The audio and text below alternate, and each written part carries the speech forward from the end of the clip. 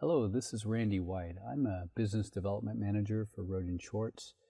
Today I'm going to talk about one of my favorite tools, and that is time domain reflectometry. We're going to use TDR to focus on how to best solve signal integrity problems. So let's start with the basic uh, architecture of a typical system, meaning transmitter, channel, and receiver. And as you can clearly see, the signal quality uh, as it originates from the transmitter starts out fairly well and when it passes through the channel um, there's some distortion some uh, attenuation and other effects that cause uh, signal degradation. We're all familiar with this. And so somehow the receiver needs to uh, interpret this uh, signal and uh, properly detect the data. Um, challenge that we run into is this channel that is causing the distortion and how we can best um, debug this and find out where the potential problems are so we can then correct that. There's a lot of uh, sources of, of, problems with signal integrity uh, today. Um, I would lump the issue, the types of issues that you might run into as three different types. Number one is the bandwidth limiting effects of your channel, which would obviously cause signal loss and attenuation.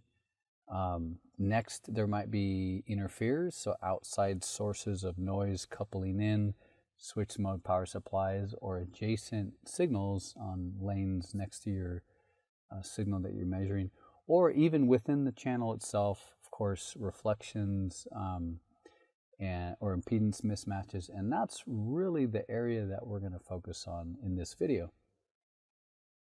So the classic go-to uh, evaluation method for most uh, high-speed designs is to simply look at an eye diagram.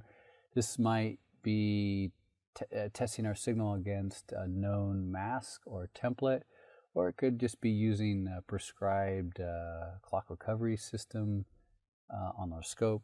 But here you can see many different uh, anomalies that we need, might need to address. Okay, we have a slower rise time causing the mask to fail, fill, and that's obviously because of our channel effects. Uh, we might have jitter from different sources that's also um, shrinking the eye.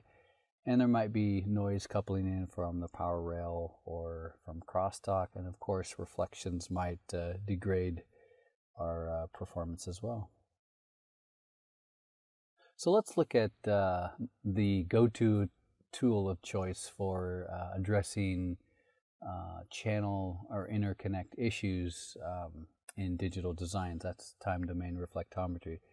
This is essentially like a radar. If you think out, think of radar sending out a pulse and measuring the response, and based on the information that you know about the outgoing pulse versus the incoming pulse, you can then discern uh, distance, um, the uh, differences between your source and your target uh, channel or, or, impedance variations that you're looking at.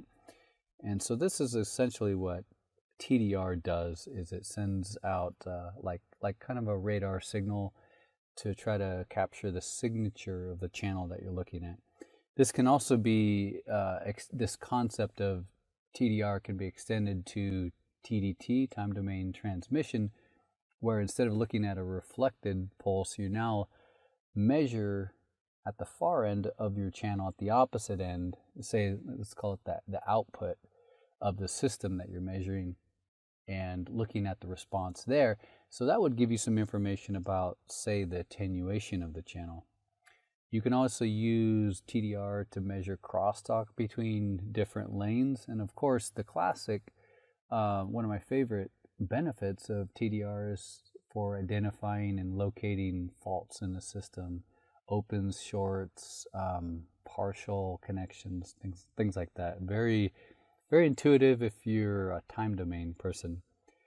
Um, the other aspect of TDR that needs to be considered is the rise time. And I'll get into this a little bit later on in the video.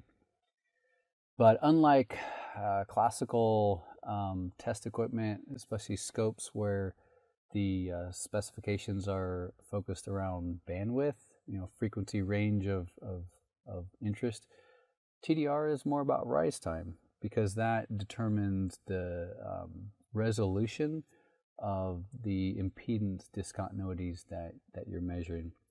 Finally, some, uh, another important aspect is that your TDR system should match the topology that you're using in your design. So if you're using single-ended or differential, uh, or in this case, odd mode um, propagation, uh, it's important that you also measure TDR in that same mode. So that way you can um, see the same response that your that the real system would see. So I mentioned uh, before the importance of rise time versus system bandwidth. Now, rise time is directly related to bandwidth based on a, a simple conversion factor. And uh, bandwidth, of course, we can match to the test equipment based on the scope bandwidth we're measuring or the connector type that we're using to attach to our boards or cables. Um, but the rise time ultimately will determine the smallest resolution or, or, spacing that we can determine on a board or, or another interconnect. Uh, another important thing is to ensure that you have a nice, um, well-behaved, uh, flat step for your uh, outgoing pulse. This is, you know, this is going back to the analogy of the radar signal.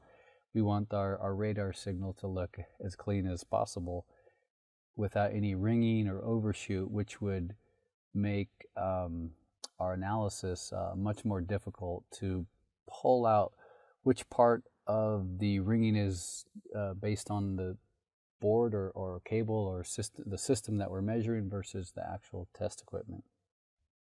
And finally, the uh, differential TDR, TDT measurements. It's very important that we launch our TDR signals um, time aligned, and so our cabling and, and um, connections need to be properly deskewed if needed. So to simplify that, it's it's easiest just that we recommend phase matched uh, cables.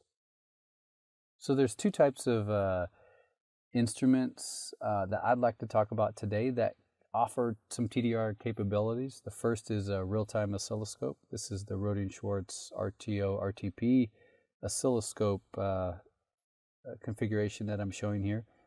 The TDR is managed, uh, is uh, configured through a, an integrated uh, pulse module. And this pulse module is a 16 gigahertz differential source. Um, the, obviously, the benefit here is now you've got all your other signal integrity tools like jitter and eye diagram and uh, voltage timing measurements all built into one box. So you can look at, you know, start your debug workflow looking at eye diagrams and doing timing analysis, and then also looking at your interconnects and channel effects using TDR all in the same box. It's very convenient. Another instrument that is also very useful and has definitely has some advantages over oscilloscopes is the vector network analyzer. This example here is the ZNB uh, network analyzer. Uh, these can range from you know a few gigahertz up to 40 40 gigahertz um, frequency range. Of course, there's uh, four port and uh, um, even many more ports available. Um, VNAs are typically frequency domain instruments where we're sweeping at different frequencies up to our, our max range. And then based on this um, span of frequencies that we have, we can then use an inverse FFT operation to then look at our, uh, our response in the time domain. Here's a comparison table showing just side by side some of the um, advantages of one instrument over the other. Um, main thing being one is time domain, the other is frequency domain based. Um, when you're narrowband, you can then uh, filter out uh, more broadband noise uh, while still covering the range of frequency range of interest.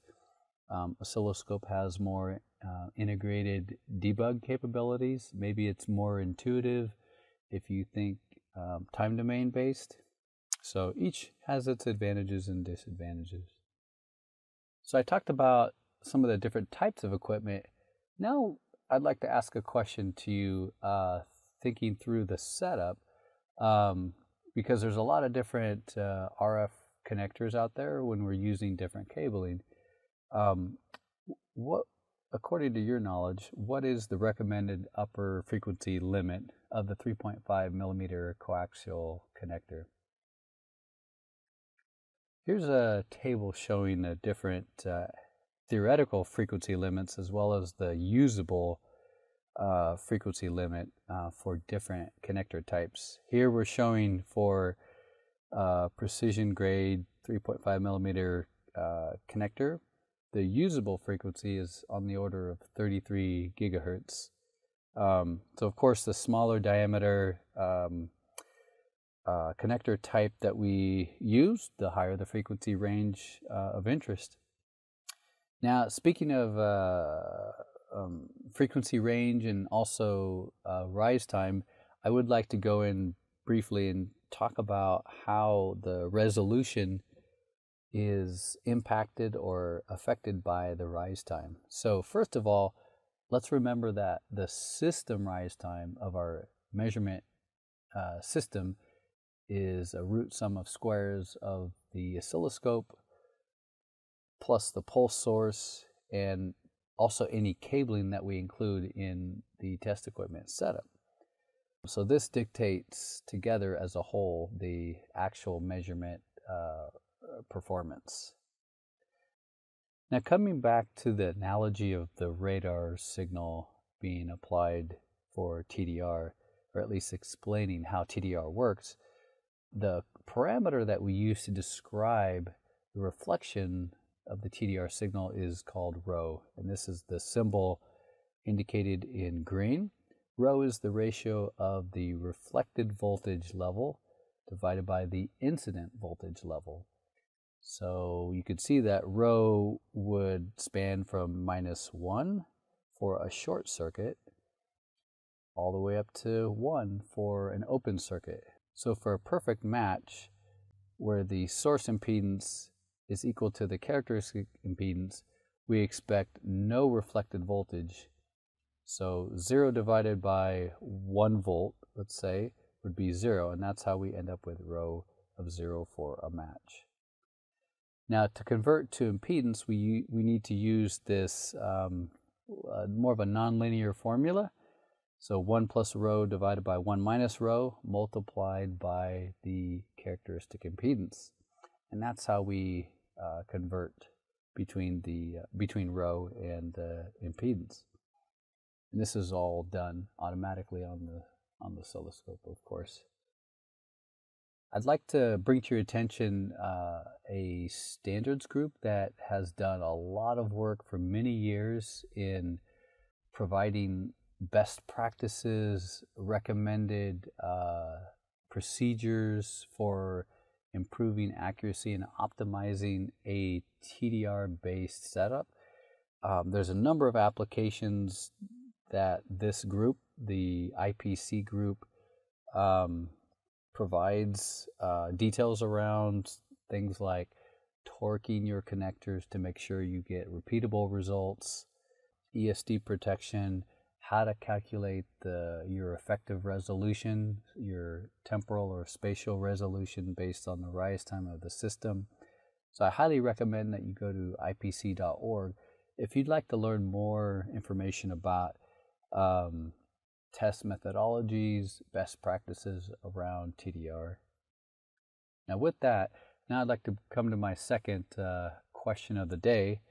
Uh, that is, why is a 50 ohm impedance the most common characteristic impedance that's used today. Why not 75? Why not 200? Well, it turns out the characteristic impedance is a function of the inner diameter of the center conductor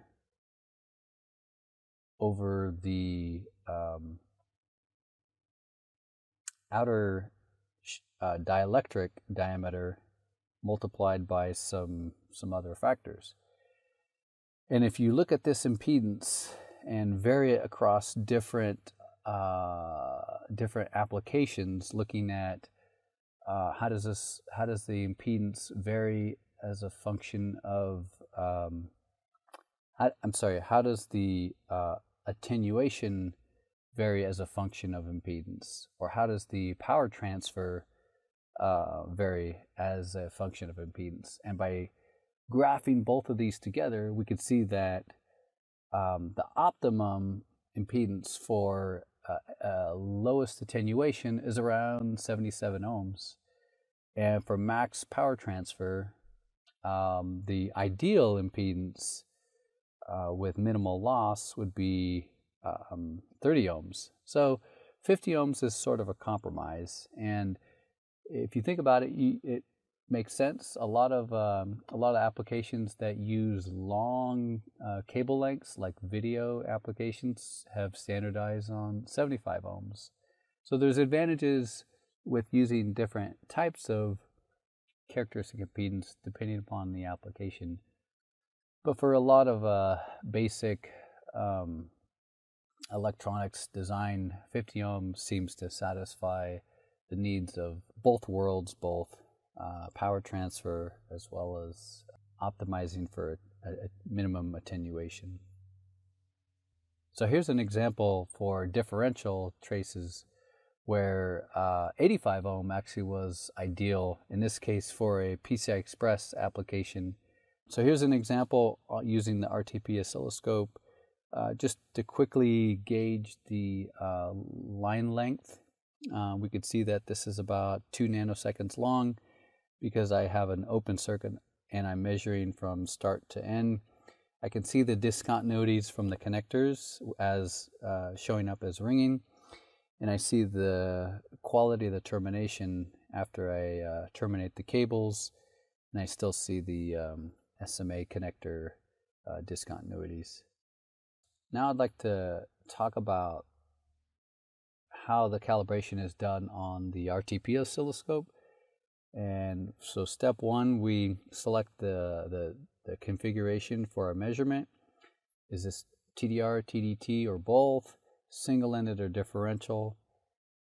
Second step, we would then, uh, this is essentially a three-step process. So we connect a short, then we leave the cables open. That's considered our open. Finally, we apply a match. And based on this, the software can then determine the, the correct uh, calibration settings, which you can then actually see on the very far right here with the plot showing the effective um, insertion loss of the uh, cabling that we're using. Once we're done calibrating, then we can turn on our measurement.